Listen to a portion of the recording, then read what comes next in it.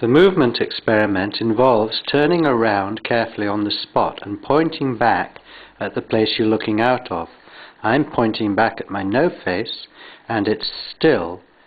I can see the room moving beyond my finger. I am still at the heart of the turning world. You can try this experiment yourself. And you can also notice this when you're walking down the street that you're still and the street moves, or when you're driving that the countryside moves and you're still. This place here where I am is stress free, movement free, full of the moving world.